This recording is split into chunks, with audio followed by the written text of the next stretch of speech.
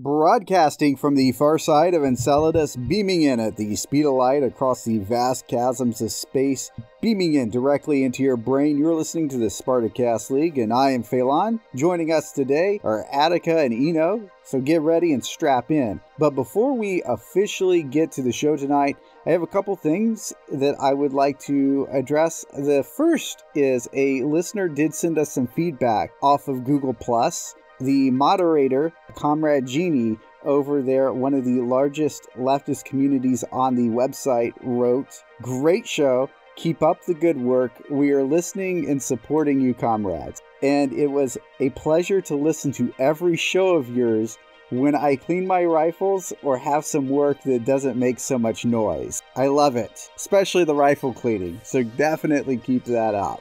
That's pretty funny because I like to clean my rifles when we're recording. Yeah, if you listen really closely, sometimes you could actually hear the, the clicks there from that. So if you're paying a little bit of attention, you may hear that. but we are definitely pro gun here.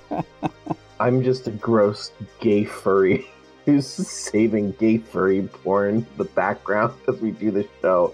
That's my great contribution. That's my praxis. That's an important and practical contribution to a cultural revolution moving forward on the ground floor like we are.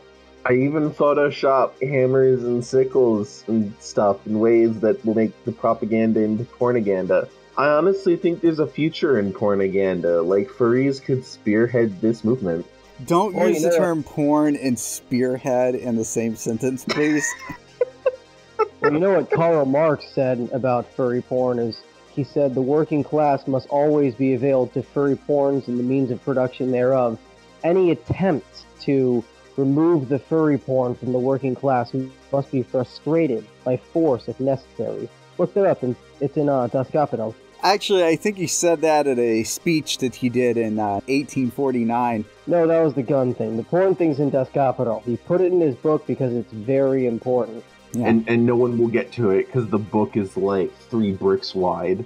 The other thing that I did want to get to here on a uh, more solemn note is some of you uh, might have known Art Bell, a very famous paranormal late night radio host. He founded the show Coast to Coast AM. Uh, he's someone I greatly respected, even though I did not agree with any of his politics. He passed away back in April, but a toxicology report did come in, and it does look like we do have some closure on, on how he died there. So he had COPD in the late stages, and he had a lot of back pain as well.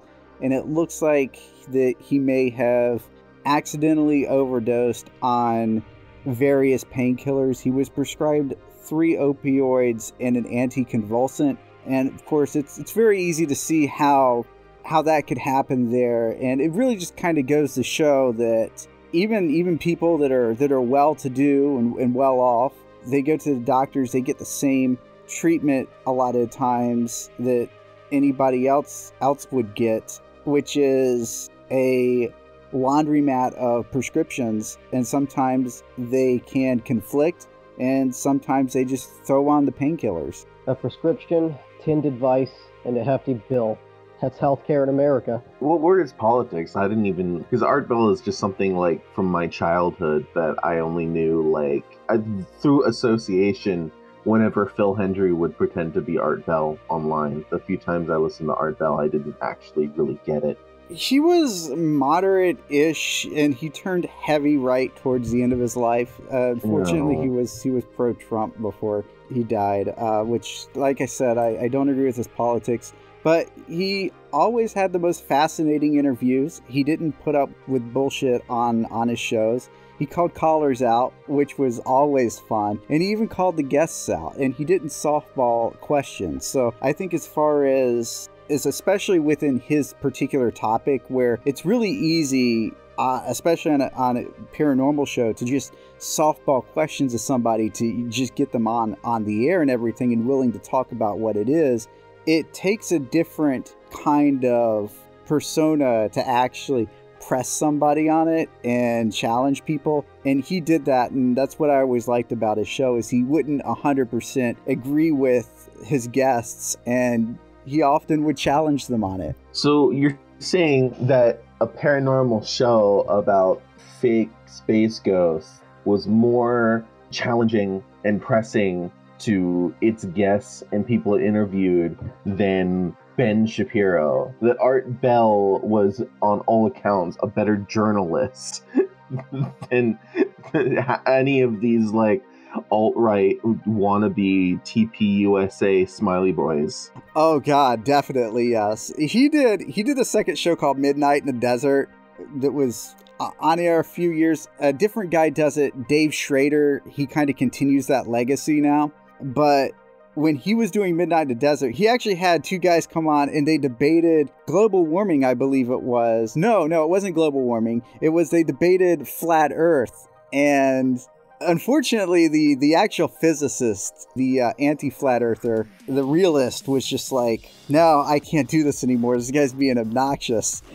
but the fact that he didn't let the flat earther just run roughshod over the person. He actually called the guy out numerous times and even admitted, "Hey, I don't agree with what you're pushing here." And it was it was great entertaining radio. And after the interview and the debate, he actually did uh, throw out a few jokes afterwards at the guy's expense. It was kind of funny. So I guess the real question is, how old are you, Faolan? That is a secret, but it's I'm 34 on the 24th. Damn, you're like just getting to gay dad age. I am unaccustomed to not being the oldest person in the room. Moving on to our first topic here. MSNBC, the Resistance Network, the. Oh, God. Of course. Yeah, you know where this is going. And it's so fucking. Okay, so, like, since I got another Twitter and I've been interacting with these people, they're just weird on another level. And I can see how their chatter totally makes them think that there's this great blue wave coming because they've all psyched themselves out into all being like their own personal Captain America. Fucking hanging pictures of Mueller in, you know, above their bed next to Jesus because he's, you know, fighting Trump or something. They're just weird. They're not bad people. They're not nuts. Like, it's not like when, you know, the alt right goes off, the loony leftists. But they are very weird people.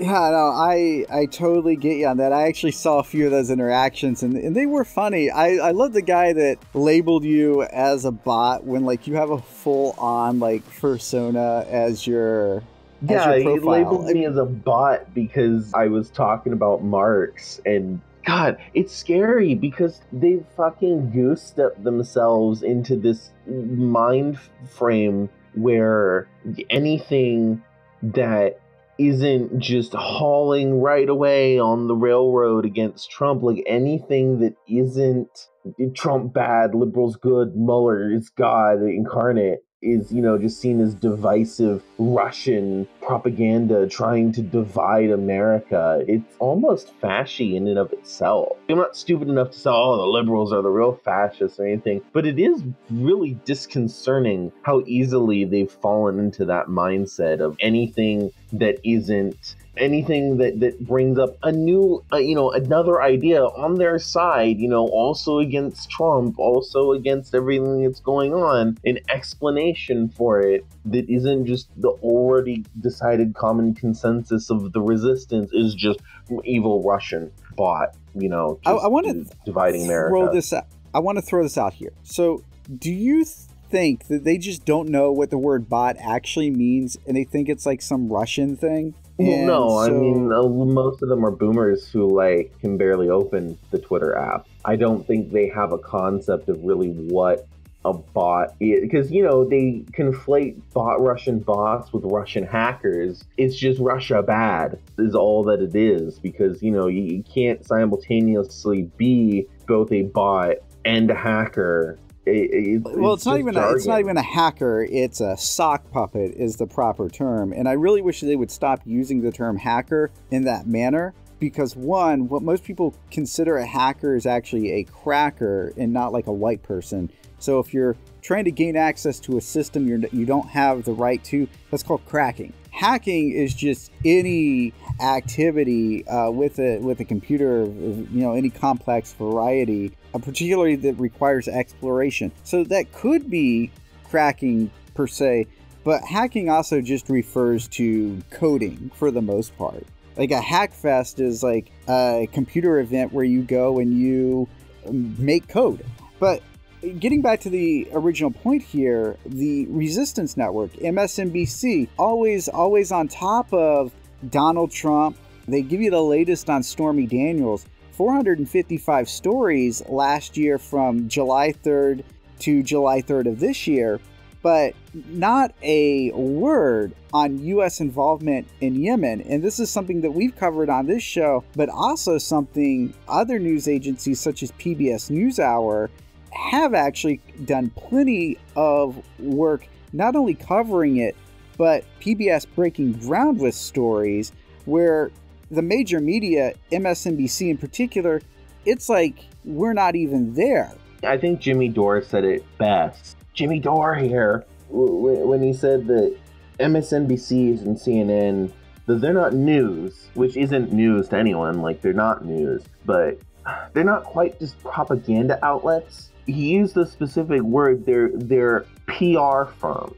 They're public relations, and that is exactly what they are. They're public relations for the Democratic Party and you know the bourgeoisie essentially because they're not you know they don't exactly pump out propaganda of you know america is great and love your boss but they do rep corporate interests uh, corporate politicians and put a nice shiny coat on like Starbucks reducing its plastic or whatever. You know, that gets a big story because it's public relations for a gigantic company that is a big donor to the party, which, you know, basically owns these stations and doesn't talk about, you know, the killing of children in Yemen. It's not full blown like, you know, 1984 propaganda out of the speaker box, but it is public relations, is what what these channels are.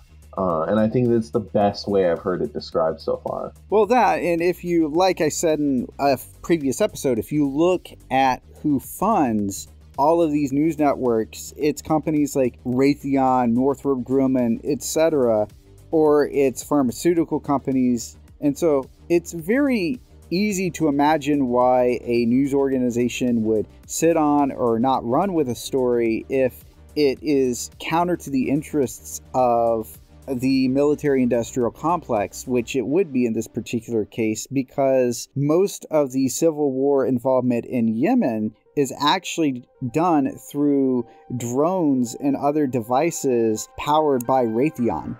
We know that there is a hard limit to how in cahoots the higher levels of government and corporate powers are because MSNBC probably wouldn't have run that many stories on Stormy Daniels if Raytheon paid her off instead of Trump. Well, that, and they had to fill the time somehow, so might as well fill it with junk, I guess. Remember back in the 90s when the filler was uh, a flashlight was found in the middle of a road? It might be a pipe bomb. Or these firefighters have rescued six entire puppies this week.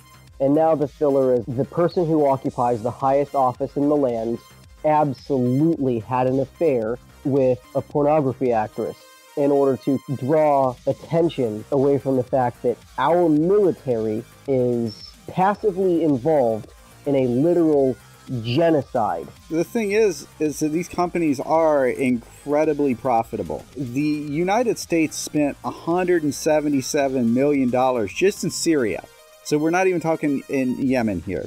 Just in Syria 177 million dollars worth of missiles and drones were spent that could have went to feed 1242 children according to Amity Underground and that's children in the United States. So if we didn't drop all those missiles on Syria plus Yemen as well, we could have fed a lot of hungry kids here in this country. And this is a country in the United States, the richest one in the world. One out of every five children go to bed hungry. And then to top it off, there's a good chance that a lot of these kids that are starving in this crisis in Yemen if wouldn't be in this situation to begin with.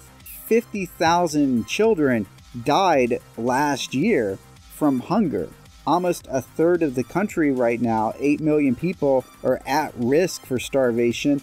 And that number, like we reported a few weeks ago, is going to balloon up to 18 million in a country with under 30 million people. And again, the price point of a single Tomahawk cruise missile being able to feed 1,200 ish U.S. children, you got to understand that in Yemen and a lot of other parts of the Middle East and that part of the world, the average income that supports a family is between 60 and 90 dollars a month US. If you talk about feeding Syrian or Yemenis children, you're probably upping that figure by five or tenfold. So the amount of money that is going in to kill and maim these people and destroy their infrastructure, it could have went into making these people's lives better, but of course, the you know that's not in the interest of the military industrial complex. What makes all of this? So the fact that we could be feeding these children and everything in the United States, of course, and across the world. But instead, we're choosing military action. Is there's no demand on the left, it seems, or at least liberal America, because they don't know that these actions are going on. There's no rallies for them. Counterpunch did a great write up. Liberals are protesting over everything right now. They are protesting the Supreme Court pick, they are protesting ICE, uh, they're protesting the Russia investigation, which, good. I definitely agree. We need protests there. That is important. But the other thing is, is we absolutely need an anti-war movement in this country right now because the military-industrial complex is running roughshod over the world right now. We need to show solidarity with the Yemenis people and with other peoples that our military is just going in and absolutely decimating their their culture and society and killing them. And if we don't, then we do run the risk of heavy, heavy blowback. Now, that, of course, is not trying to say in any way or not trying to imply in any way that these issues that we are protesters, rather, that the very large number of liberals are protesting are less important. We are not trying to undercut the gravity of every other thing that the American left, be it soft left or regular left, is protesting. It's hard to even fault the left for this, right? Because most people, like we just covered, they don't know that it's happening. And so that's just one part of the equation here. So people need to be aware that this genocide is happening in their names and that people in Yemen are being radicalized and being told that the United States, the great Satan, and its evil inhabitants by some of these groups are using terminologies like that to refer to to us because our government goes in under our name and tax dollars and absolutely slaughters these people, cuts them off of their food supplies, starving them. Well, back here on the home front, as Comrade G.I. Ivan said uh, famously, knowing is half the battle.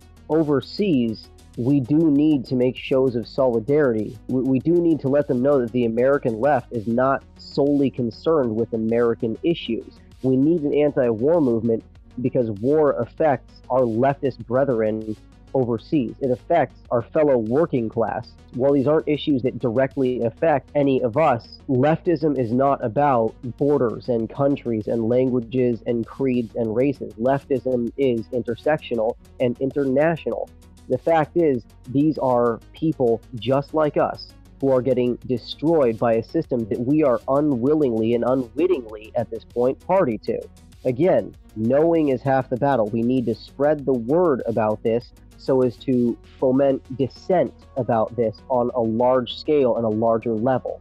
I would even argue to say that it does affect us in a negative manner, just the regular people, because whose children is it that they send over to die for these causes anytime that there's a war? It's it's not the wealthy children, it's not the children of senators. Those people rarely volunteer the people that die during the war, the people that go over, it's just regular people from working class communities, oftentimes poorer people that didn't really have much of a choice or future if they would have stayed in their own communities. There's a lot of communities where your career choice is join the army or join a gang. Well, that is an excellent point and one that we need to bear in mind. And I thank you for bringing it up. I would argue that this particular case, the genocide in Yemen, is particularly worrisome to me because we do see insurgency and counterinsurgency efforts undertaken by our government in the shadows. We have seen that in the past, but something on this scale that's happening right now, it's not going to affect most regular middle class people. And what really concerns me about it is this honestly looks like the template for United States intervention for many years to come. This is absolutely devastating. It's fairly cheap as United States interventionary wars go, and it's happening so subtly right under the noses of everyone.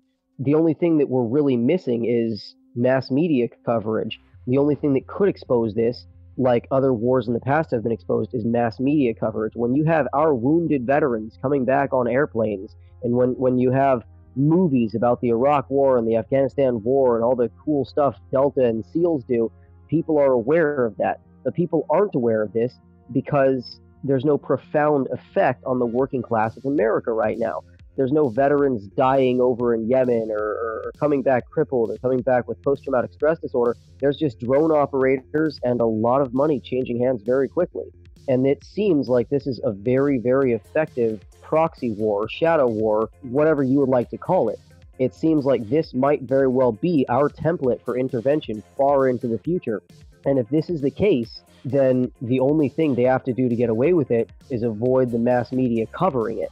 And that is frightening. The important thing to point out here is this is not a Trump issue. This war has been going on for three years in Yemen. The Syrian civil war has been going on since well, 2009 or, or so. It, it's been a long time. These wars are not something that is a Trump thing. This was initiated under Obama. This is part of his doctrine and policy. And for Democrats and liberals that think that they're just going to vote in yet another neoliberal establishment figure and get change, you got another thing coming. You're going to get the same thing that you've been getting for 30 years. This is how the neoliberals operate under standard procedure. This is not a Trump doctrine. In that light, it handily makes a case against the accelerationist idea that Trump getting into office was a good thing because it woke a lot of people up, because not a lot of people are woke to this. It seems, of course, like MSNBC, the hashtag resistance network, and their fellows, they happily lay everything at the feet of the terrible orange tic tac colored monster they look up to and praise our charming chocolate colored former leader. It seems like this really ugly sort of dichotomy. It's it's too clean. It's it's, it's too neat. Obama good, Trump bad. And the accelerationist idea is that people are getting more woke now that Trump is in office and they're starting to look around and realize how bad American politics are and have been. And I'm not seeing quite a lot of that.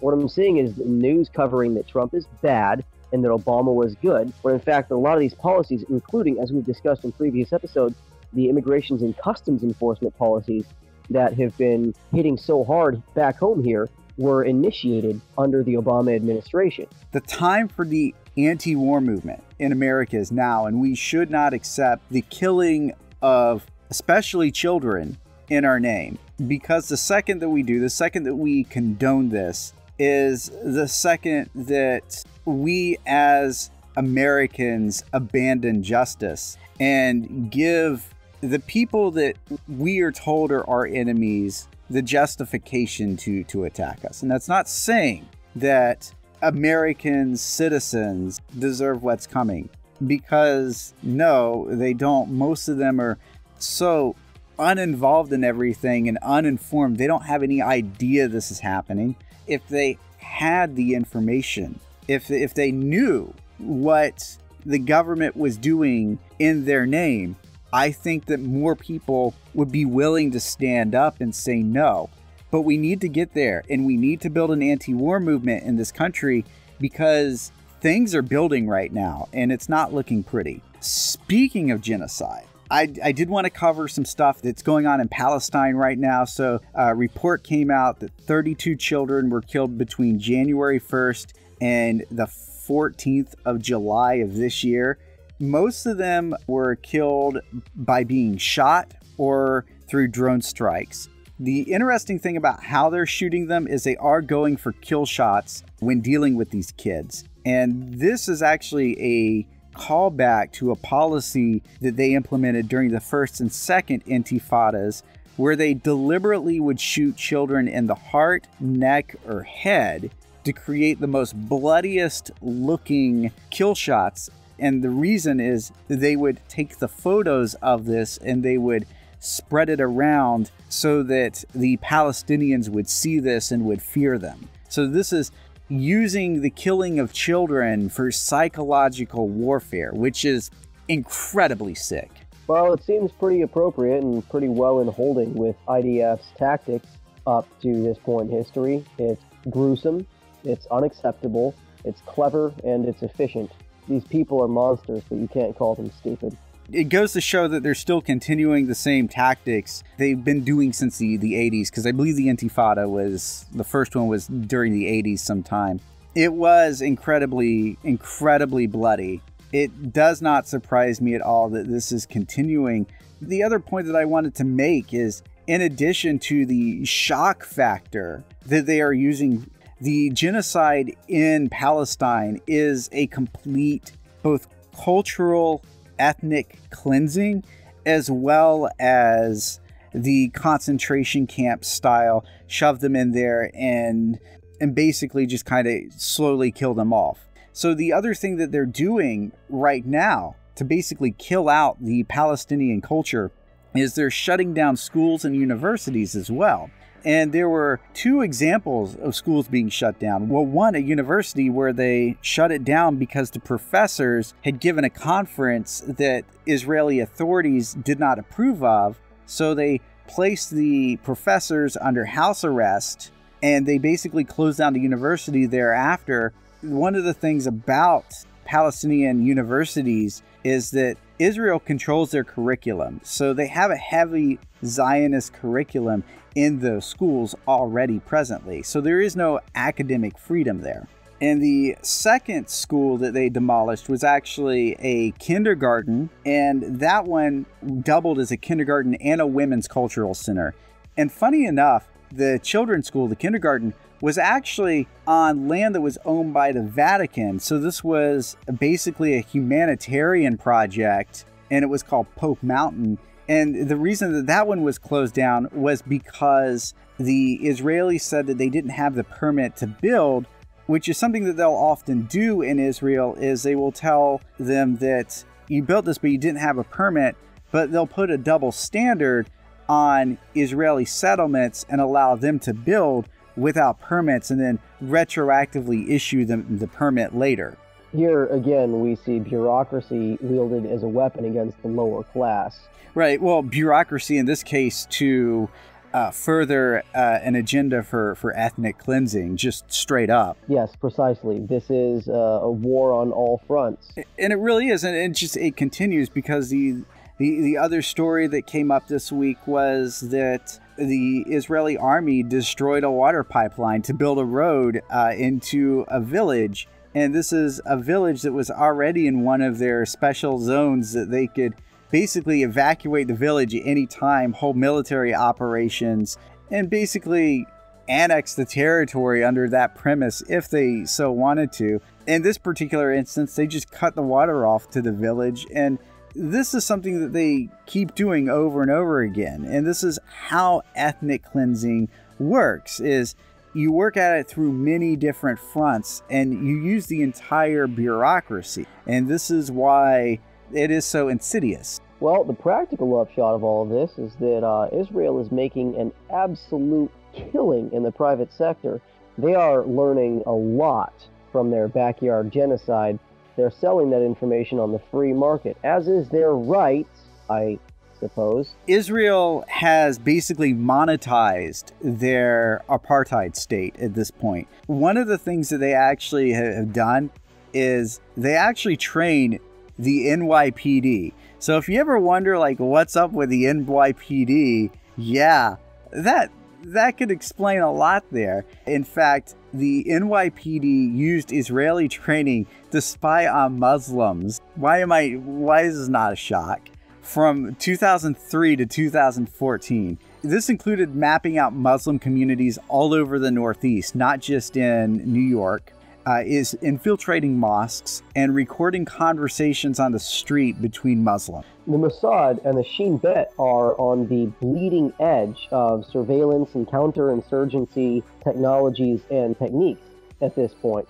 I think it's the sixth largest arms exporter in the world. It has 27 major surveillance companies, uh, which gives it the fifth largest private sector for surveillance. In all, uh, you're looking at about 6.5 billion dollars in weaponry sold every year on average. Their surveillance sector is no joke. They've been able to export this because they've been developing this for the purpose of genocide since their inception, pretty much. But moving on to the other major power in the Middle East right now. Did anybody see this? That Iran a couple weeks ago basically gave the same speech that they make like every month. And Donald Trump went on Twitter like in the middle of the night basically shitpost supreme told the Iranian leaders that if they ever did that again, that he was going to uh, do something about it. I guess imply that uh, there would be military action for doing it. Actually, yeah, he did. He straight up advocated that uh, we were going to strike him if they did that again. Yes, that uh, amped up George W. Bush invective, the level of almost comical hyperbole that Donald Trump is known for in his threats of military action on Twitter. We've seen it a couple times before. It's funny and terrifying threats in equal measure of every time. Military action on Twitter. Yes, this is this is what the United States has oh, devolved to is the leader of the United States goes on Twitter at midnight or 2 a.m. in the morning and ship posts to Iranian leaders devolved to? Let me tell you something, son. Let me tell you something about American culture and the American economy. It's about refinement, okay? We spend less time, less energy, less money with every single iteration of our culture's turnover. We used to send letters, get on television, have these big, nice, expensive speeches. Now, now we just do it with Twitter. We're moving forward. You got a problem with progress, my friends? You got a problem with the way that Americans use technology to push boldly forward into new reaches of efficiency in bullying smaller countries? I, I do have to admit, uh, the future is is pretty pretty interesting. I mean, who would have thought that you could declare war in 280 characters or less? The Australian government did come out and confirm that they do have reason to believe that the United States is ramping up for an attack on Iran. And it's kind of interesting because like the story was from uh, the ABC News, and that's the Australian broadcasting system, not the American ABC. It was kind of weird because there was this double speak element to the article. I don't know if you guys read this, where it's basically like, yeah, uh, we're preparing to strike, but yes and no, maybe there's involvement from other countries. Yes and no, the Canadians might be involved. Like it, it was so it was very very weird in how the information was conveyed, and I didn't see any other sources that confirmed or like it was all pretty much the same article just respond where the Australian government said that they have information that the US is preparing for an attack and they got the uh, information through the Pine Gap facility via Five Eyes, which is their spying network for the United States, the UK, Australia, Canada, and New Zealand. But they really didn't explain the context around it. Hey, you want to hear a really bad take? What? This is because of Korea. I think I, I think we I get where you're going with this, but elaborate, please. We were ramping up our awesome military to go and just like Space Force the shit out of Korea. Raw! And then, you know, out of nowhere, for reasons that are probably well beyond the grasp of our commander in chief, we just ended up not doing that. So there's all this vitriol, all this ramping up, all this all this boiling over, all this America has to be strong. And you know, we didn't go invade North Korea and we didn't show them and show the whole damn world how hardcore and cool and sweet our uh, 51% of our national budget going into defense actually is. So now the focus hasn't been shifted, just the target.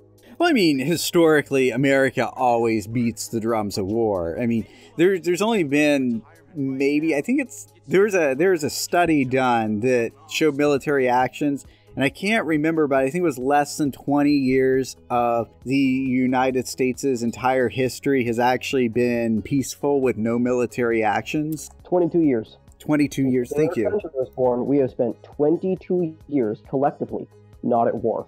Is this like full blown invasion, topple the government, get ourselves stuck there for another, you know, 50 years? Or is this like we fire some missiles and say don't do it again? Uh, my guess like is this would this will probably be like the Syria attack where we just fire some missiles. That's what the Australian government seems to think in this particular case is it's going to be a missile attack.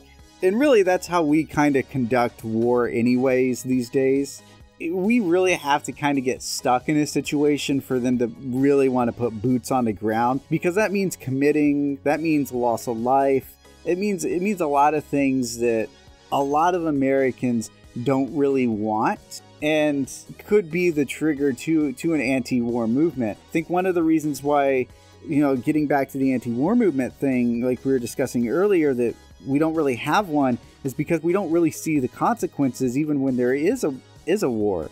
A lot of people really, really haven't felt the consequences of the, the even the Iraq War because compared to Vietnam, compared to Korea, compared to World War II, you just because of technology, we don't see the casualties. The casualties are on the other side. Well, again, I think as far as the idea of the anti war movement is concerned, that might be the one reason that uh, the powers that be are trying to turn away from open maneuver warfare and openly in invading other countries is even during the Iraq War, even during the, the, the Gulf War before that, even during uh, Vietnam, those wars were all heavily televised. And what's a good term here? Fucking awesome. Genuinely awesome. Watching the might of our military go up against something that gave a bit of resistance was awe inspiring to a lot of people it was uh, mesmerizing. It was great television. So a lot of it got televised. There's a lot of people who are aware of it.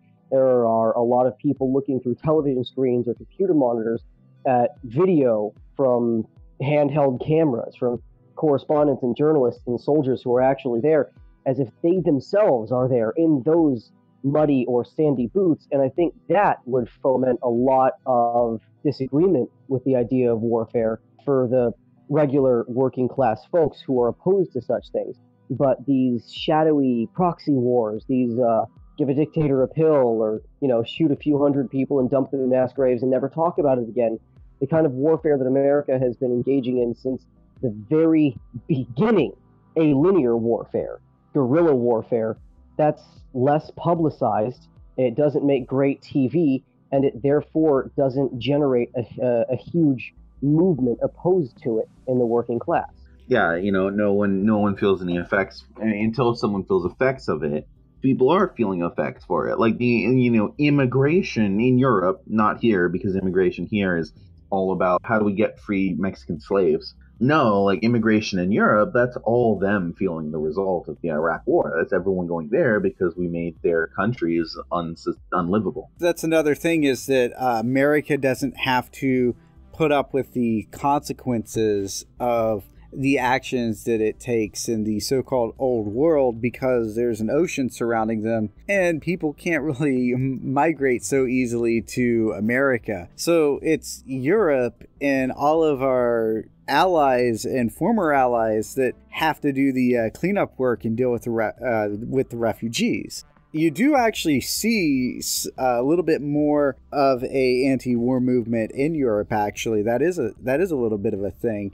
yeah, in in America because of all of the factors that kind of isolate us from most of our military targets, we don't see a huge anti-war movement and a huge push and with technology kind of taking the place of soldiers in battle, it multiplies that effect. And it means that there's a social cost to being anti war because then you look like the crazy liberal or the hippie or, or whatever. And you're somehow just being unpatriotic. How sustainable is all of this really? Like how how how much more can we do this? until the economy just absolutely collapses because it can't sustain itself anymore, which will probably happen sooner than later. I mean, it's just like this is this is kind of what did the Romans in, really. It's the same thing. Well uh, put.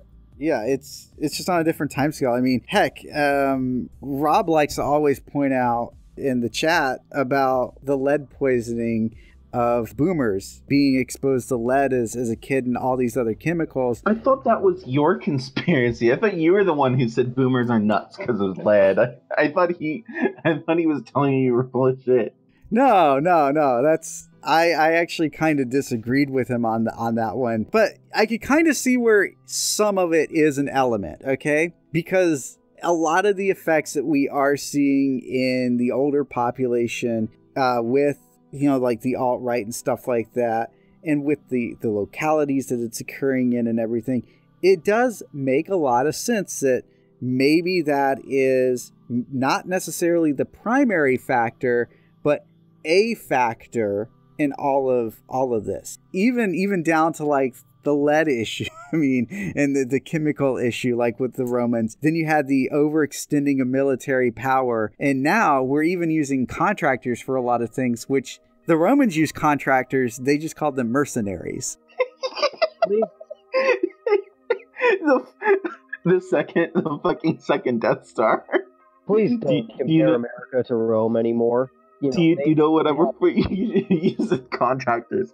I thought about the scene from Clerks where they dissect the second Death Star and why it was immoral to blow it up because it had a bunch of plumbers on it because it wasn't finished. I would imagine that the Death Star would take a lot of contractors just to maintain and operate. Uh, you can't really use that argument. And then, secondly, and I don't mean to sound cold, but they did know what they were signing up for uh, to begin with. That was the have you have you seen Clerks? Because that was the conclusion that the contractor, the roofing contractor who was in the store when they were having a conversation, came to uh, saying that he had turned down a bunch of mobsters contracts and sent it to a friend and his friend got killed in the hit See, now I have to watch Clerks again because it's been forever since I've seen the movie. So, for our main topic tonight here, I did want to discuss the alt right because, just like always, they're on their bullshit.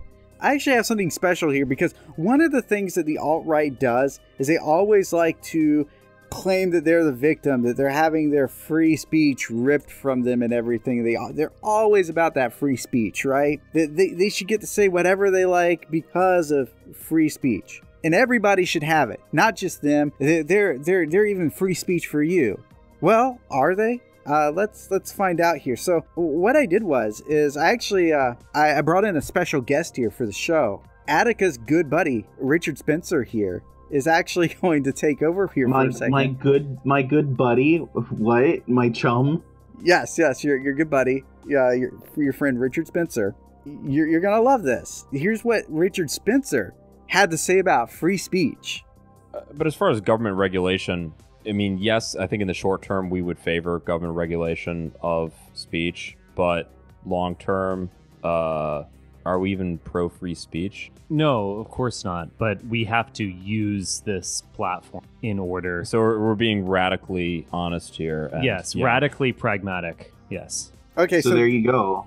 From from from his mouth, they don't give a shit about your free speech. I want to put this in the context of actually what he was uh, talking about here. So the reason that they were talking about social media is because, as you could imagine, they were discussing basically just being deplatformed off of several different uh, social media sites, including Facebook and Twitter, during that conversation, and were upset that the Facebook algorithms and moderators were taking down their stuff. and there was this conversation that the alt right was having at the time that ironically these social networks should be treated as public utilities. Oof. When they accidentally stumble into leftism. Well, they they stumbled into leftism because they essentially had no other choice because, like they said, they were being uh, pragmatically radical. I believe was the uh, the term that the uh, host of the show was using. But this really just goes to show that you can't reasonably argue with the alt right. Attica, you'd actually showed me this great graphic. It kind of actually looks a little bit like a black hole. And it was just like one big giant singularity of bad faith arguments. And it basically broke down how they have a private narrative that it's things that they discuss among themselves on the alt right. And then they have a public narrative and it's surrounded the private narrative is surrounded by all of these other articles to keep the public and the mainstream bamboozled basically. Bamboozled um, but mostly wasting their time you know? Um, the, the alt-right is basically just one massive interference machine right? If you can get a liberal to waste two hours of their day citing sources that you're just going to throw in the garbage and go round and round and switch topics the minute they start to get an edge on you uh, until they give up and go home and you can go, I want, I want, I want, and jump up and down. Um, that's two hours of their day that like they couldn't do anything serious about you.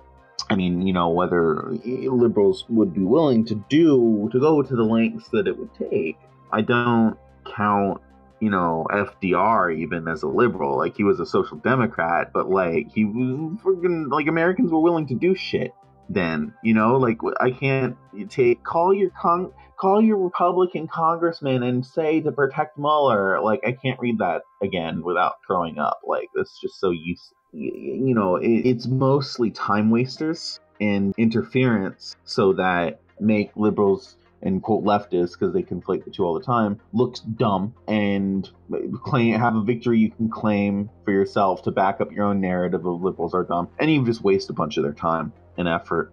Right and then out of all of that you just cherry pick all of the stuff that doesn't sound clean out of context and then you just repost that to your forum buddies on 4chan or wherever and show how hateful liberals or socialists are or whatever. It's by design. It's it's to waste your time. It's to get text clippings voice clippings etc and make a mockery of people as well. It's all done in, in bad faith. It's it's performative arguments the thing is is when you're engaging with these people what they're doing is they realize that a lot of you know negativity sticks. So if you make a negative claim about something then you're forcing the opposition to rebut it. So they're they're always playing offense that puts us at defense. So one of the things that you should not do is you should never play defense with these people and you should combat them offensively when they go in with these tactics and not try to just answer their rebuttals cleanly with oh here in this source in this in this source in this source because people don't actually look at the source material and address it. Really kind of the only way to win against them is to be a bigger asshole you have to be you have to do it with snark like i think i honestly think that snarkiness is the left's best weapon right because we can we're really good at being jerks that guy who went to Syria, who was like everybody's favorite communist, I forget his real name, but like his Twitter handle was like pissed dad or something. He was an asshole, but everyone loved it because he was able to be funny while he was doing it. Like the alt right don't have a sense of humor. They don't understand humor. Their sense of humor is, you know, a guy dies and haha, it's funny because he was a Jew or whatever. Well, all of their humor is based on punching down and not punching up, if you will. And that's the interesting thing is like comedy historically, even like edgy comedy, like George Carlin, it always punched in an upward direction. And that's what a lot of people that these edge lords don't understand when they're trying to do their little, you know, comic skits, and then they get called out for it because they're punching down. Yeah, they do. They, they fundamentally don't understand how to do it. Leftists can punch up and be a jerk, but they're punching up, so it's fun. It's great. It's galvanizing. I've never seen the right be able to counter it. And the other thing that they like to do is like they do like to just outright lie as well. Oh God, if you go through fucking alt furries chat, it's it's nothing but lies. It, Hitler got you know saved everyone from being poor, and there was no homeless people, and just just shit that's fed to just uh, gullible people who wander the hell in there. Because oh, why does everyone hate these people? Oh, they you know I'm a furry. I'm I'm obligated to uh protect the, the downtrodden and give people the benefit of the doubt because I was an outcast and I had no friends in high school either, and everyone bullied me. So everyone's bullying these guys, and they're the underdogs. So they got to be the good guys. So they stumble in there and they go, "Oh, what? You mean I Hitler didn't kill a million Jews, billion, zillion?" They kind of groom people in that already have this mindset that they deserve better in life and that they're entitled to something and so it's it's very easy to turn that into the whole like birthright narrative that the alt right likes to push on about being white and being entitled to just everything pretty much. But all furry like Xanadu, I've I've seen enough of it to know what you're talking about, and it is it's obnoxious. I mean, and their private narrative is exactly that. Their private narrative, pretty much them just complaining all day about two or three furries that we all know the names of and I'm not going to mention here, then complaining about the Jews or Mexicans or black people or how refugees are raping all of Europe using false statistics that are spun to create the narrative that they want to create. And when I say Xanadu, that's that's a uh, alt furry uh, chat room that is particularly very nasty the alt right, just in general, they've been really going off on this this guy in South Dakota that had gotten arrested. He had like the materials to make bombs and everything. And it turned out he was in possession of an Antifa jacket. And the right wing went wild over this. They were like, yeah, we caught them. Antifa at it again. Uh, they're terrorists. Turns out, we don't know why the guy had an Antifa jacket, but what we do know is that the guy was entirely right wing. CNN found their their social media profile, and it did turn out that everything oh, on does there. CNN actually do real news? Or did CNN actually did real news on this, and they found that his social media profile and everything on Twitter, on Facebook, all together was all consistent. He was entirely right wing. He complained about SJWs, the whole nine yards. And so, further investigation from a, uh, a local news outlet, they'd found that through his friends and family had confirmed that he was right wing. They described him as conservative and very pro gun right. You know why he had that jacket. We all know why he had that jacket. Oh yeah, he was he was trying to frame What exactly Antifa. is a quote Antifa jacket? What, do you just write Antifa on it with paint? Where do you, where do I get my Antifa jacket? Hot Topic. Didn't Soros send you one? The check in the front in the in the breast pocket. See, I think yours may have been defective. Then yours didn't say Antifa on it. Yeah, you need to turn it back in. You'll get he'll he'll hook you up. Don't worry. But this is this is a thing though with with the alt right. They lie out their ass on this kind of stuff, and then it gets found out. But this isn't like one incident on the alt right. Like between various groups and individuals. Like we had the Austin serial bomber. He was an incel and a hard right conservative. I would consider him alt right with some of the stances that he he'd made, uh, where he'd ranted against same sex marriages and the sex offender list, which is always a red flag. Always with the always with the sex offending and, and the excusing it. Then there was the Parkland shooter. We know that he was incel and alt right. He had statements against blacks and Muslims and Antifa. There was the Toronto hit and run incident where the guy ran over like 20 people. There was the Miami arson attempt where the guy tried to burn down an apartment complex that he previously lived in to kill all the Jews in it that were somehow his fault for being evicted. And then there was a another bombing attempt where a guy was actually making bombs in his apartment, and he was an alt right guy as well. And that was in Beaver Dam back in March. Th- these are all incidents that happened this year. So we're looking at one, two, three bombings, or three bombers, I should say, that they were either building or they were successful, an arson, a hit and run, and a mass shooting. And the alt right wants to sit here and say that the left are the violent ones when they're the ones out there committing multiple terror attacks. They were all mentally ill, challenged, lonely, lonely lone wolves. Well, all the white ones were. Well, yeah, that's that's what the, the media narrative would, would have you believe. Uh, Anytime that it's it's a white person, they rarely ever aired that. And one of the reasons though that I actually I you notice that I didn't air any of the names, and that's actually because if I want to refer to these people, I want to refer to the incidents in a manner that doesn't glorify the person that committed the crime in this particular case. I, I don't want to glorify that individual.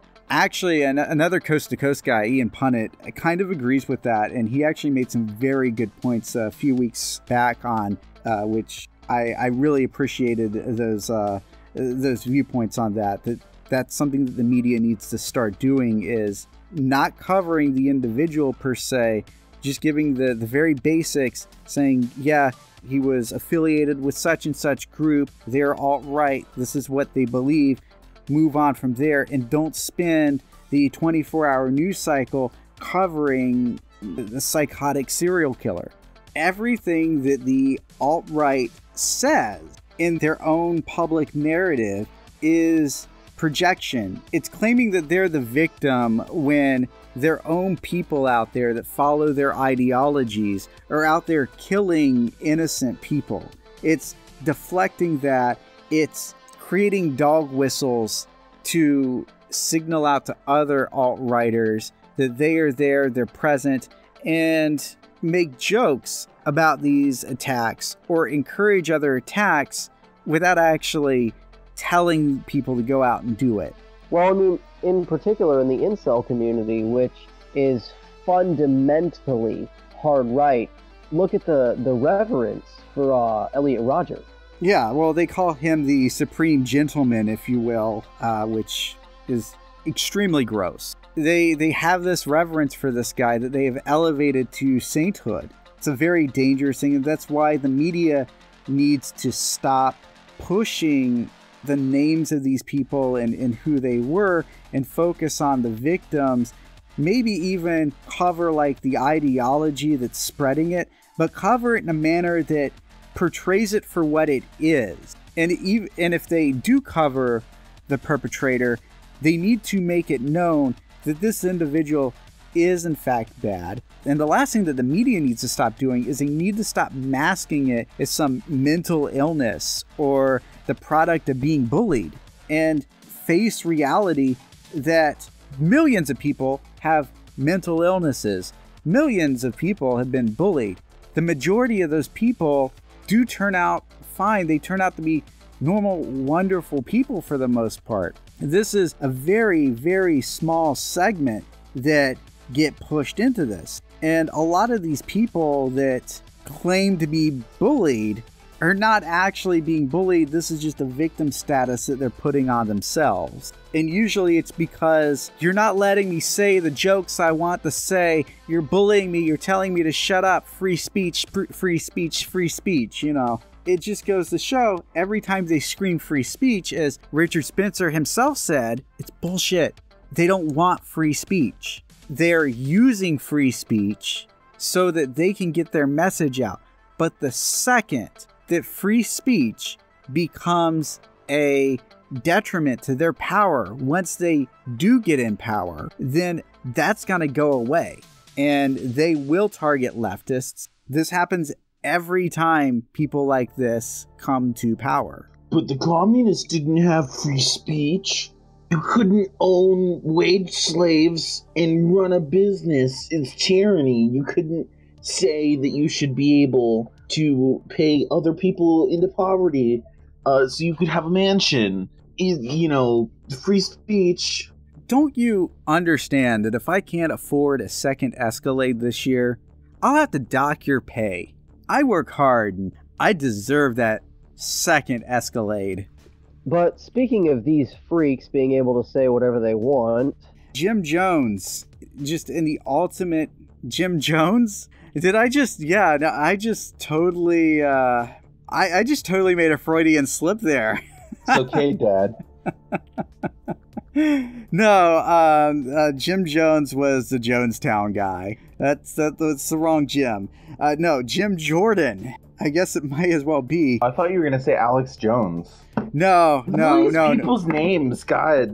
J- this- Jim, John, Jack, Rich, They're white people names, okay? Josh. This guy, right, Jim Jordan, he's the top pick for the Speaker of the House if the Republicans remain the majority party after the election. So I, I want to give you guys a taste of just what's to come down the line. So he was actually involved in a wrestling scandal where a bunch of former OSU, that's Ohio State, not Oregon, wrestlers came forward with claims of being sexually harassed and molested by a team doctor named Richard Strauss. Now, apparently Jim Jordan knew that this was going on but refused to address the issue. So very similar to uh, the to the like Sandusky thing with Penn State in many ways. I mean, you see this a lot in college athletics, unfortunately. But the wrestlers came forward.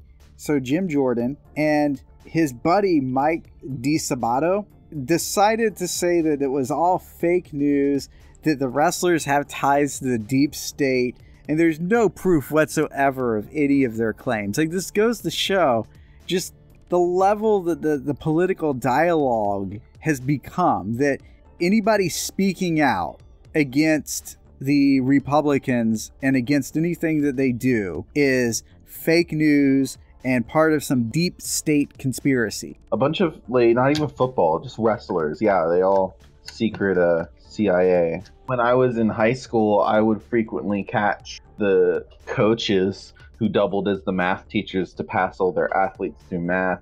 Uh, they would invite their special athletes to uh, drink booze with them out of flasks in the office and then draw the blinds. So this doesn't surprise me.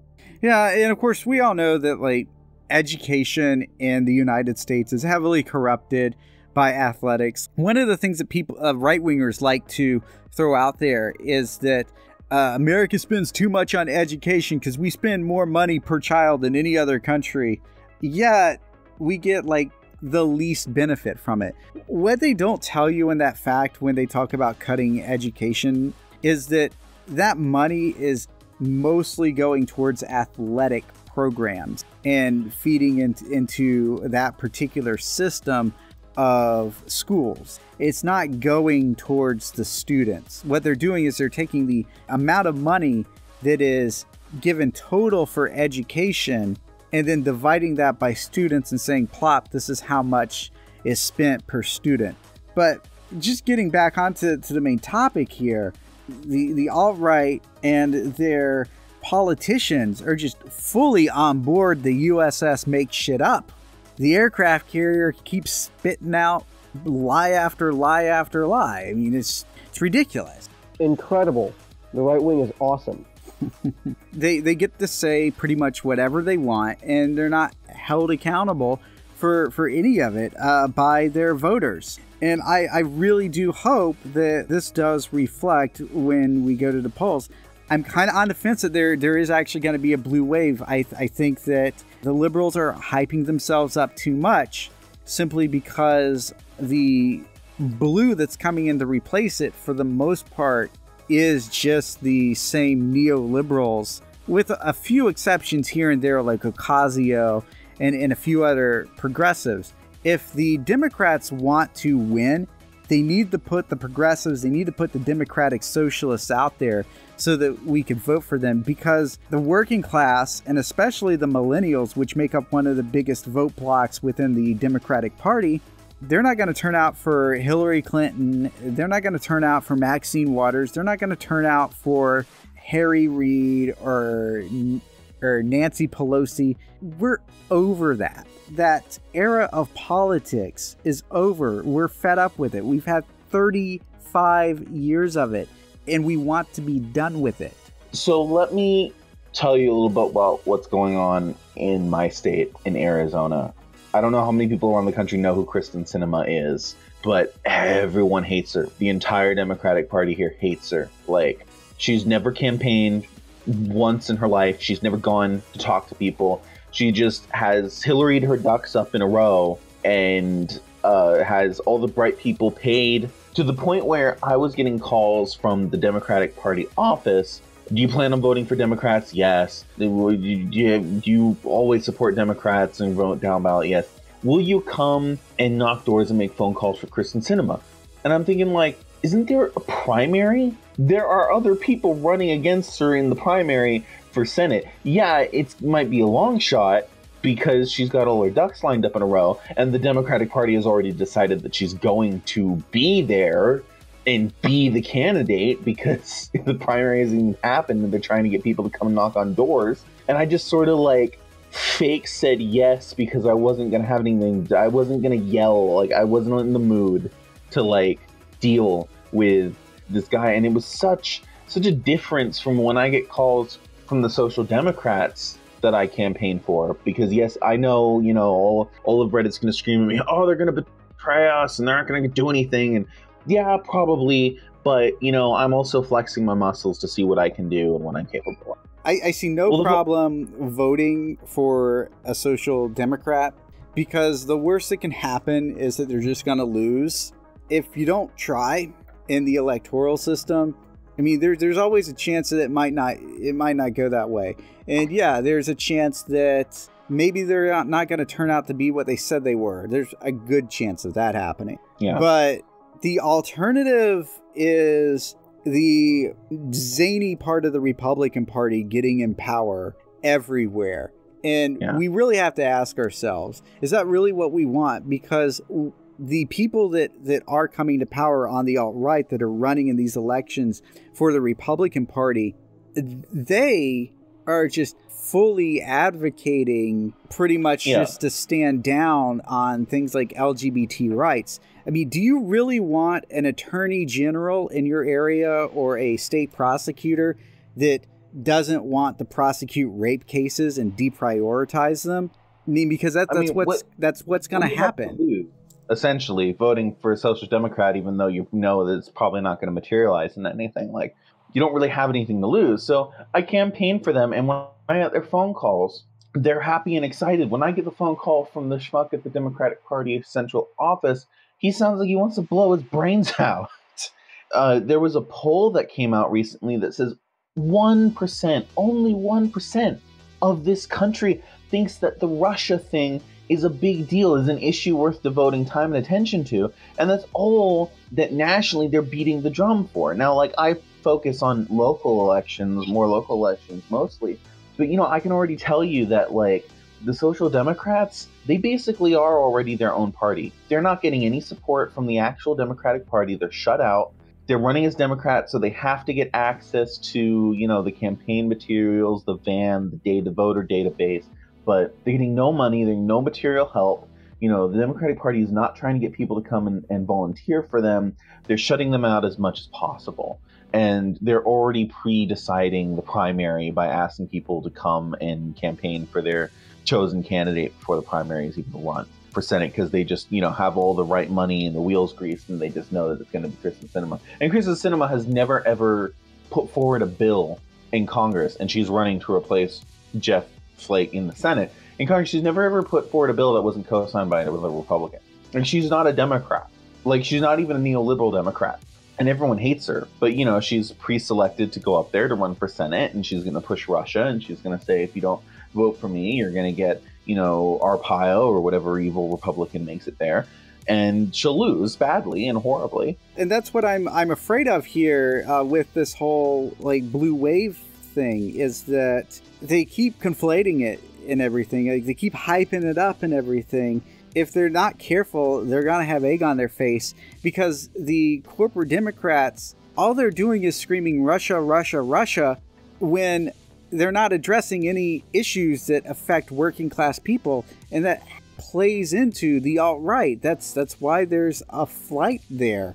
People see that the Democrats aren't addressing core issues that matter to the working class. They'd rather play this Russia game and blame Putin for every little thing that goes wrong than address the fact that it's the cronies in the United States that are making life difficult for everybody else. The thing about voting Social Democrat is that it needs to be shown time and time again in election after election at the grassroots and at the highest levels that those are the people that we want to vote for. We're not going to Pokemon go to the polls for the same old song and dance that's being offered time and time again that fails us time and time again. And not to sound like an accelerationist, naturally, but even if we lose to the right a couple more times, the Democratic Party needs to realize that we're not going to vote for these same spoiled rich children. We're going to vote for people who, on the ground floor, advocate for real changes that will really affect the working class. But I don't even think the Democratic Party cares about winning ever again. I don't think they care about holding power because they don't have any platform. They don't have any plan. They don't have anything they want to do that's different from the Republicans. So they don't care about getting in power again because they're getting all their money anyway. They just, they No, frankly they- don't give a crap. Of course, the Democratic Party wants to win. They want to win so that the Republicans can't, you know, knock down LGBT protections or whatever, so their nice, rich corporate friends can sell rainbow capitalism to every demographic that the Republicans don't care about. It's all about money. Uh, Well, okay, so the thing is, is Democrats better care about winning because if they don't win in the United States, Europe is swinging right right now in a very bad way. It's kind of come a little bit suddenly. We see this a lot in Central Europe and, and in Eastern Europe, like Poland, uh, parts of Germany, Austria, Hungary, uh, Czechia, which is the former Czech Republic, and Italy, of course. Uh, Steve Bannon has basically declared that he wants to fund a organization which he calls the movement which is going to act like a right-wing version of the open society which is george soros' organization so he basically bannon just wants to be a right-wing version of soros with less money i'm guessing but so you're telling me that as a centrist, I can collect Soros bucks and Bannon bucks? Yes, you can collect both, and it will probably be really bad. What makes this particularly dangerous is it's he's trying to basically galvanize all of the European alt right parties and kind of the movement is the organization the move is it's going to be a think tank for these parties. It's it's going to act as like a resource center to spread right-wing populism to groups. And the disturbing thing about it is like the model he's already pointed to a model government in Europe that, that he sees as being the future and it's Italy Salvini which if you all recall Salvini is the one that uh, made this call a few weeks ago for trying to remove the Roma from Italy, that he wants to do a census and then kick out all of the Roma. See, as a hard leftist, I'd call that a model government, in that, not unlike a model, it's plasterboard thin and extremely fragile and more flammable than it is fragile. Yeah, and Italy right now is on the verge of chaos, which is really interesting that he he cites Italy as being uh, the model on that one because like you said it's the walls are thin and it looks like it's about to collapse. I can only imagine that what he's he really means here is just that that he wants the system to be such that it it collapses into this chaos and creates this I guess pan European alt right vision of what Europe should be. So essentially, they they just want to be able to duke it out with leftists in the street. Yeah, pretty pretty, much pretty much that. And they have a hard on for Europe, but like I don't think that they realize like Europe is like composed of like several different like it's weird how they talk about it, right? Like they they talk about like being nationalists on one hand and then they they like idolize like the entire freaking continent to Europe. So it's like one big like double think of white supremacy. And then like there's this whole like chain and this d- of different like levels of like whiteness within Europe and it's it's freaking weird. Looking at all of this and knowing that Bannon and other people on the right are trying to galvanize what is already a dire situation in Europe at the same time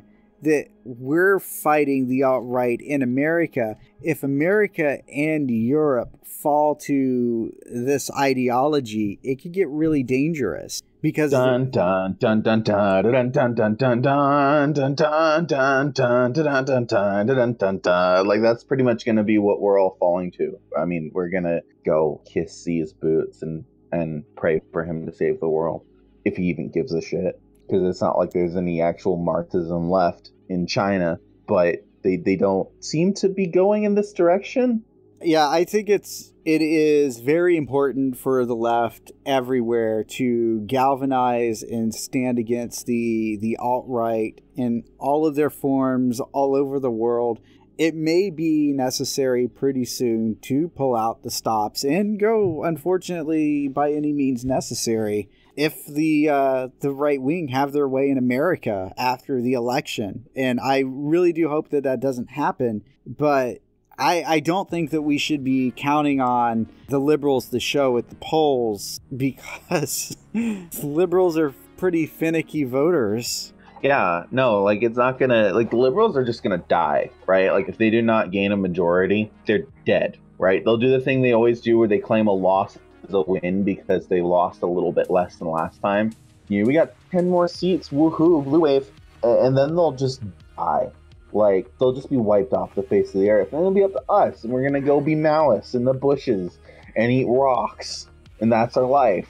And it- Almost makes me want to move to Rojava because at least they have six years on us. And the situation in Europe is dire right now. Like we covered on the last show, there's already a, a task force designed and designated to create huge dossiers on leftists and then plug it into a face recognition system so that uh, police can just arrest whomever using the special glasses in the future or just kick down somebody's door in the middle of the night you know when the government gets that itch to do it. Right now in poland it's actually boiling over right now. The uh, the pis which is the law and justice party which ironically stands for neither law nor justice uh, has been cracking down on left-wing activists. They recently disrupted an academic con- conference uh, in may that was organized by Szczecin University,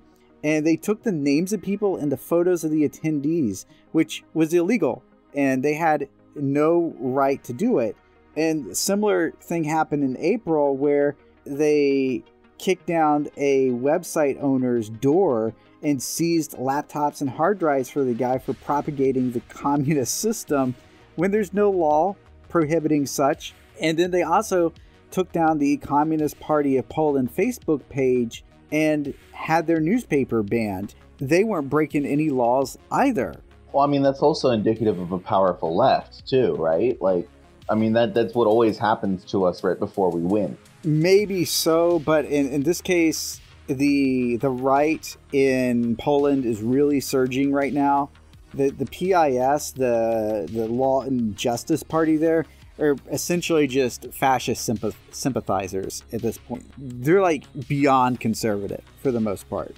And they've created this red scare in Poland that pretty much they've interpreted the law, uh, which states that advocation of totalitarian practices is what they can actually ban communism under when none of these organizations that they actually went after were actually advocating said authoritarian systems. Like they weren't Stalinist or, or, or Maoist even. Like it wasn't in that vein. And however, they did try to to make communism and advocating it illegal through a constitutional tribunal, but they failed. Oh, okay, so that's Poland, but you know the the, uh, the seat of Europe rests with France, Germany, and England.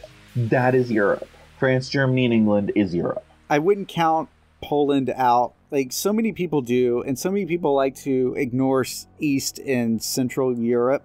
The reason that we have so much focus on France, on the UK, and on Germany is because of the, th- their empires in many ways are still relevant like there's still relics of it around.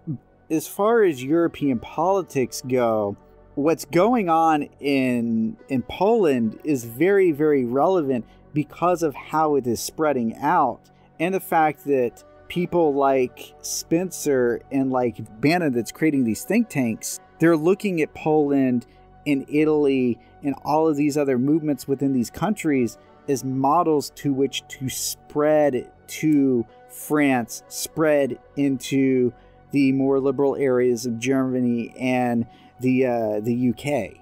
But the other danger here with the Law and Justice Party in Poland is that, of course, they're steering Poland into this red panic, but they're also accusing re- the Reformist Party and other parties of being communist and calling for them to be delegalized. They're effectively neutering any semblance of not only liberalism, but of course socialism as well. So they're basically chopping off not only just the left, but the left half of the right wing spectrum as well. I mean, you know, the the fourth, fifth sentence of the Communist Manifesto, what party in opposition hasn't been decried as communist? And most people don't become communists. Most people don't take on a revolutionary attitude until they've suddenly been disenfranchised and realized that their state is their enemy and is coming to attack them. Every, every single communist revolution that happened happened on the heels of a successful fascist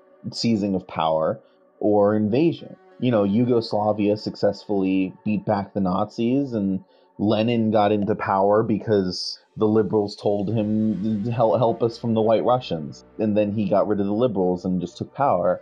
Yeah this is scary but this is also typically what happens before we win somewhere because it's impossible that this would just happen everywhere. You're not going to have a uniform europe of fascism especially not in like i said earlier the big three of britain and germany and france because those all the fascists try to make a move there and you know the the alt right scared of Antifa here. There, you know, they actually do make bombs and they do blow up stores and they do um, put their lives on the line. Well, like I said, you know, Bannon is trying to put up a force to embolden the the alt right in Europe, both on the voting front and on the uh, the the ground we need to make sure that we're present as well and, and ready to uh, tackle them. I think Antifa in Europe is, uh, and like you said, much more willing to do so than, than in America. It, it really is a very precarious situation.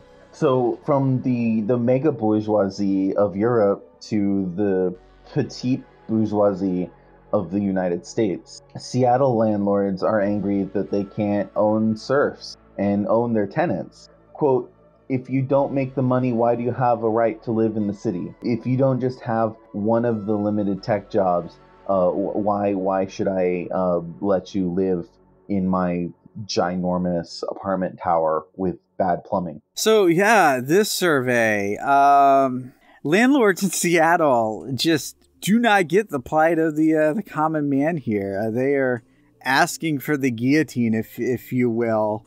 There was a survey done where or 89% of the respondents in the uh, the survey uh, did not agree with uh, the following proposals, and none of these proposals had more than 1% of support. And that was increasing the supply of units, providing affordable housing, and making it easier to terminate leases. The other thing that they voiced massive opposition to was discrimination based on source of income and move-in deals. So employ, you know, like giving discounts for working for a certain employer. Because that's not feudalism. Right, right. And then also like they don't like the idea of requiring payment plans for move-in fees. You know, when you have to pay a huge deposit and processing fees plus an application fee and all that. And it ends up you're spending a thousand, two thousand dollars to move into some crappy apartment. And they're not wanting to, to split that up, although some do. Uh, renting to the first qualified applicant, they were against that, uh, which means that they get to discriminate against who they they rent to. And then, of course, barring tenants based on criminal record, which they said was a safety thing. However, that just makes things harder for people that are trying to get their life in order. If you're going from an idealist mindset, not idealist as in, oh, you're an idealist, you just believe in perfect world, but like idealism versus materialism, an idealist mindset of people are criminals, so they make poor choices. Well, now they're trying to make, quote, good choices as if those exist and getting kicked in the balls for it because how you know they they can't like you commit one crime and you might as well just go to jail for life because otherwise you're not going to have a home right and like you said the the landlords were completely apathetic to the the needs of the renters that, that live in these units one of the interesting things about the survey is that they didn't mention her by name but they alluded to her Kshama Sawant, which is a socialist city councilwoman as well. They absolutely dislike this woman because she's forwarding these types of policies that we mentioned above to make things easier for tenants to, to live. And they actually even had the audacity of saying that they weren't being represented in their district. That's how far off these landlords are. Time to be Maoist. I really want to see like if anarchists actually succeed in the U.S. and like bring about an anarchist order of society. They're actually going to do anything different. Like, no, they're going to haul those landlords out and beat the shit out of them too. Yeah, yeah, they'll just they'll do what what the Maoists did in China to the uh, to the landlords. I mean, can we can we blame them? I mean, because the landlord's responses to all of this, by the way, was just disinvest in in their properties, uh, close down units, tear down units to build even smaller units, just stop renting in Seattle and just outright, you know, close the unit up it's it's just absurd. And so really I think what people need to do is I think I think these tenants not only do they need to get together and they need to unionize, but the other thing that they need to do as well is organize the what if scenario of what if the landlord does try to retaliate against them in this particular instance. Uh, what if they try to close down the unit maybe the goal of the uh, the union should be community defense, and by community defense, kick out the landlord and take that SOB over. One thing I do, one one question I do have about Marxism in the modern day is that in China, in Russia, when they would do that, like a lot of these places had wood burning stoves, you know, gaslight, um, candles. When things like power and water are so centralized, you know, let's say they do take over the apartment block the landlord just goes to the power companies to shut off the power. Goes to the water company, will shut off the water. Actually, um, they uh, they can't do that, and also. Well, I mean, why? So the way okay, so so the the way that that like, actually works. Thing stopping. Yeah. So actually, there is something stopping them. So the landlord does not typically pay the utilities. The utilities are deeded in the names of the tenants. That's how it works in my apartment, for instance. That's how it's worked for almost every apartment that I live in. If they did that, they would actually be violating a law. But the other thing is, is there are other laws that that would violate. For instance, a landlord cannot actually shut your power off to get you to move out. Uh, it's a it's a safety hazard. Right, but they so, can't do it. So we already see that the law works great up until it starts to work against their favor, and then they uh, gather together as a class, and the water company says, "Oh shit, you know, I might lose my property," and then do it, and then fuck the law. The police will just beat up and shoot whoever the bourgeoisie tell them to shoot up. So the good thing about the the utilities is is they are ran by the, the, the city in this case Seattle, which is more left leaning. There's less of a chance of that happening than say oh Houston. It it is a concern I'm not I'm not gonna totally write it off as being something that would be be like zero percent chance of happening, but Also, I could see that there could be some sympathy there. Also, legality with Seattle being the way that it is. I don't think that they would do that. The other thing is, is that the tenants, if they know how to do so, could also just turn the stuff right back on as well. Of course, you know you're talking about risking some jail time if you get caught doing that. If they're they're desperate enough, or if uh, they they deem it necessary, they might just do it. And they might just decide to run the place. There's also something empowering about that too, right? Like when the power goes off and I suddenly realize that like I have to like light candles, I suddenly feel alive, right? I think it's the quote the revolution, if it comes when it comes, uh, people will feel alive for the first time in their lives. I think for the most part, because you know they spend most of the day sedated, walking around, get this drink, eat this heavy food. Um, with no control over their lives, just busing themselves from one point to another. And when you suddenly have to apply your brain to how do we get power, how do we get water, yeah, it's a little disconcerting, but you also feel alive. You, like you, you have power over your own decisions and you're suddenly making choices. And once a person experiences that, it's very hard for them to forget it. Like it stays with them as a ghost. When I went up my parents' friend's sister's farm ranch up in Northern California was the first time I ever enjoyed work to the point where I didn't feel like work. I was clearing the field and the field could be planted and the result of my work was self-evident and it completely blew away forever the idea of a paycheck and i have never lost that feeling i've been looking for that feeling again in every work every piece of work that i do I definitely understand that. That's kind of how I felt uh, working at the uh, the vegan restaurant uh, many years ago. I've, I've never been able to have a job that really kind of gave me that same satisfaction of, of, making something and then you know being able to present it. You're, you're definitely right there. That there there is something to be said about that. There's also something to be said about the feeling of organizing as well. So these people being able to go out there and commit to direct action is going to make them feel empowered in a way that they've never felt empowered before. Yeah, it's going to be where has this been all my life? That's exactly the reaction that I had when I was working on that ranch.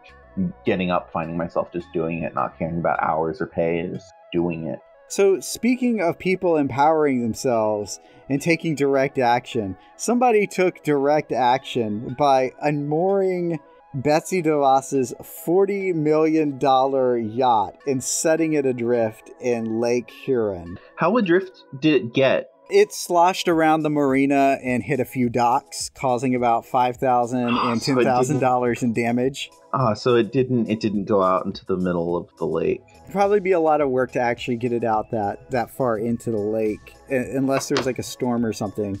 So, are you cleaning a gun too? No. So this sort of coincides with something I've seen that I've been waiting to see as much as I dumped on Resistance Twitter in the very beginning of the episode. That for the first damn time I saw them talk about we need to inconvenience their donors and I was like, "Oh my god, yes, they're giving up on calling their fucking congressman and they're to start going and and ruining the lives of the CEOs that donate money to them. Like they're they're figuring it out slowly, but they're, they're getting there.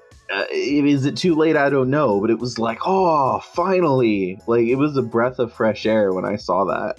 It definitely, it definitely was. This is. It was great to see something I mean, it's as legal as illegal as it is. It's it's oh, great to see it. Uh, I mean, uh, right? Who cares? This was this was great, and I, would like to see more. I mean, she has ten other boats. I mean, just just saying. I mean, just saying uh, that uh, a sizable uh, sizable drill might might you know come in handy. I don't know how those boats work. You know, do your research. But, oh man, th- this was something else, and for it to be such like a high like public official too.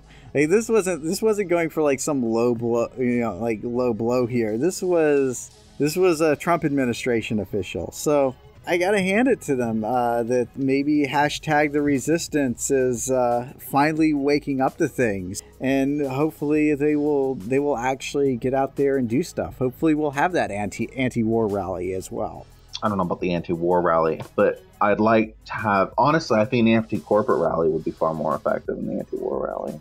I, I I, think just at- well, we need to we need to bring attention to the atrocities that the United States is, is committing in in our names as, as well. I I'd, really like to see that be something that we push more and we do talk about more in leftist spheres uh, because solidarity is international and it's it's really important that we we do empathize with our fellow workers be it if they were in Texas in Mississippi in New York in Mexico in India or in Yemen it's really hard. There definitely is something to be said about first world communists and then third world communists. 'Cause it is really hard, A, to get news about things happening down in, in Mexico and in quote developing countries.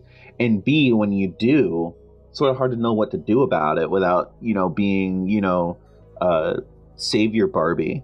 Do you know about Savior Barbie? It was like this this art project where someone like went around Africa with a Barbie doll taking Instagram pictures and, and making quotes of ridiculous things that like volunteer tourism. Uh, but other other news on the direct action front here. By the way, there are, there's going to be some rallies this month. Pretty much, the alt right is celebrating the one year anniversary of Unite the Right with Unite the Right 2, and they're kicking it off in four cities. It, on the They're kicking it off in, in three cities. They canceled C, uh, Seattle. No, okay, so uh, they they moved the rally. They didn't cancel it. They canceled the Berkeley rally and moved it to Los Angeles. So Oh, huh. the the rallies are on the fourth of August, Portland, Oregon. well, Um, shoot, I wish I knew about the, the LA one because like that's easy as possible Yeah. for me to get to. and the LA one is on the twelfth. The Washington D.C. one is on the eleventh, and Charlottesville. It looks like they were going to do like a two day rally between the 10th and the 12th, and I really couldn't peg it down. So I don't know what's going on there. If it's the 10th, the 11th, or the 12th, they're multiple days. But it looks like they had something big planned there.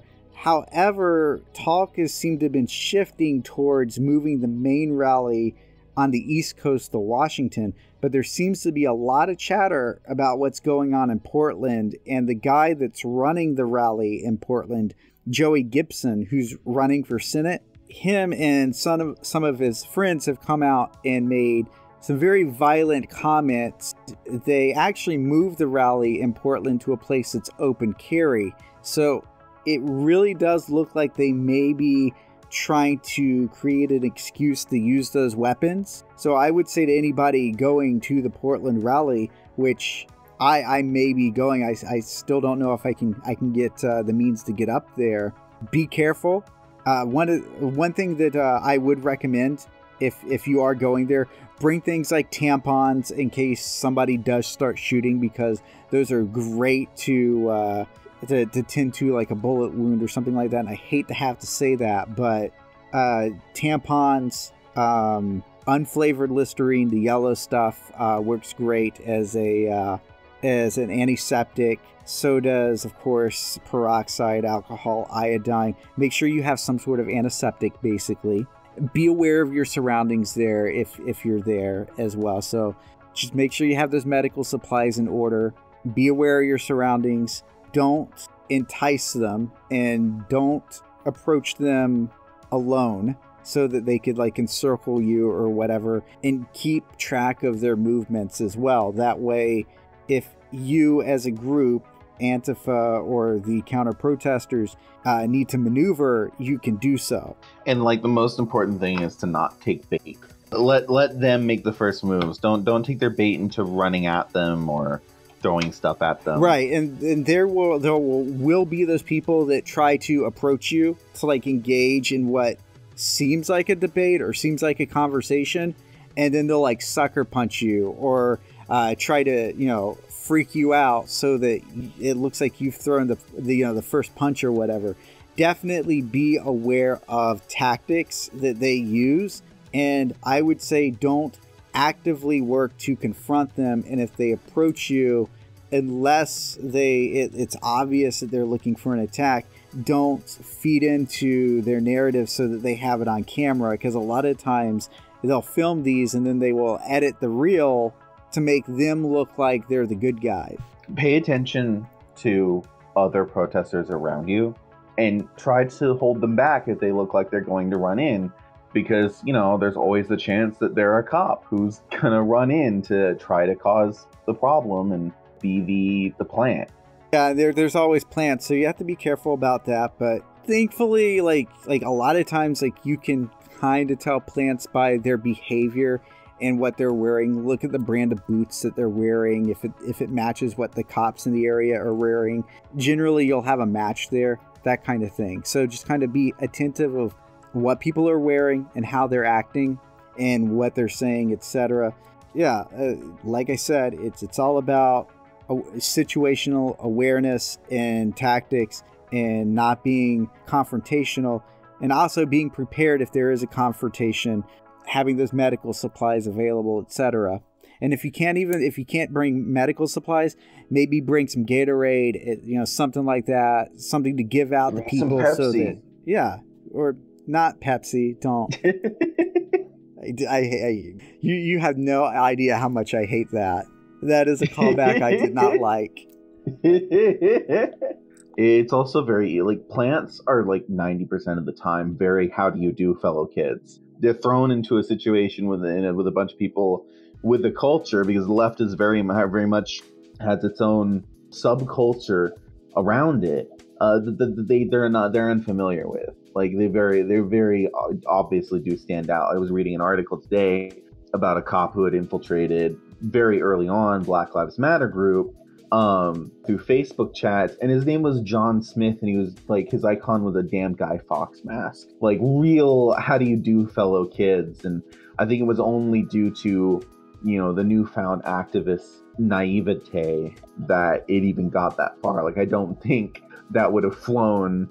I think the Guy Fawkes mask guy would have been pegged as a cop very early on and there were some uh, screenshots in the article of people telling him like you're a cop and then like kicking them out of the group chat but also like great organize on 2008 reference there yeah and this was like in 2015 this is a very very how do you do fellow kids aspect to them Oh yeah, definitely. So there there are some some obvious traits to look forward to, of course.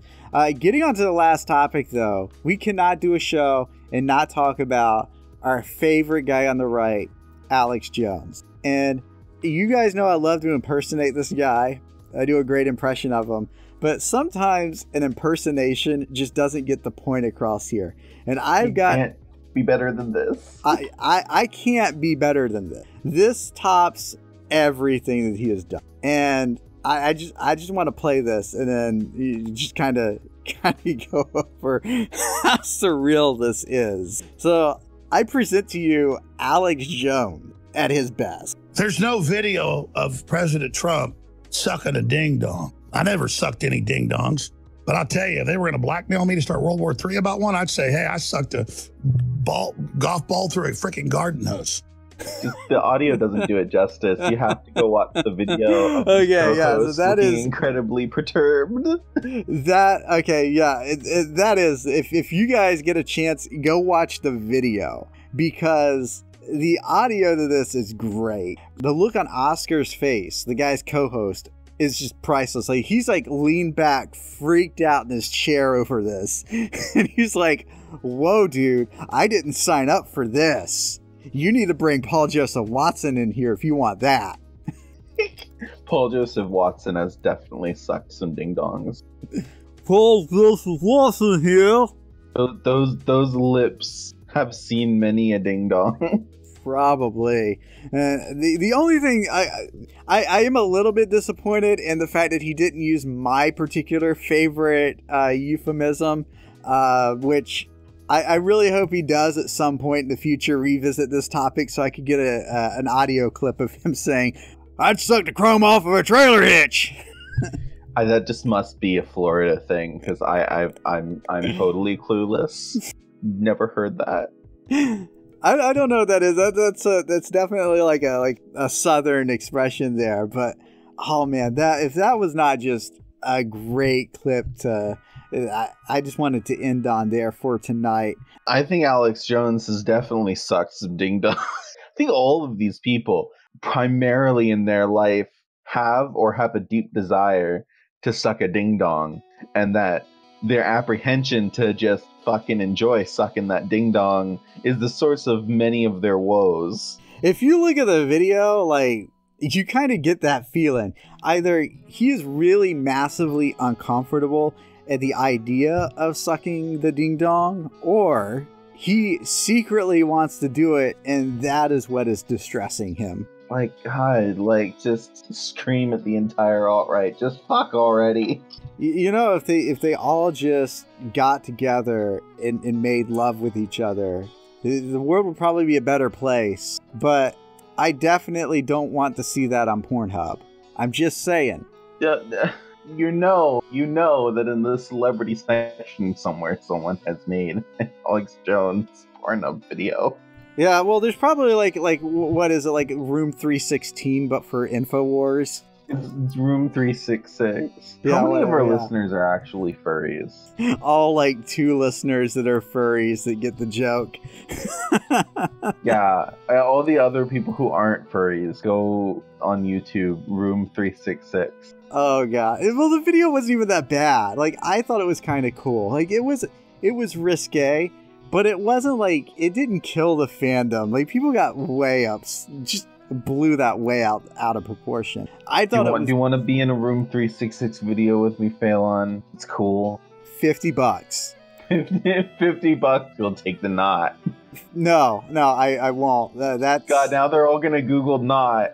Just stop the show. We're done. okay. But before we stop the show, I do want to thank all of our listeners here. Uh, definitely, you're the ones that we produce this show for. So thank you very much. If you liked our show, be sure to like, comment, subscribe, share it on social media, uh, share it on uh, the YouTube, on the SoundCloud, etc., and uh, get the word out about the show. Uh, that we really appreciate that. Uh, with that all being said, thank you very much. Good night and good luck.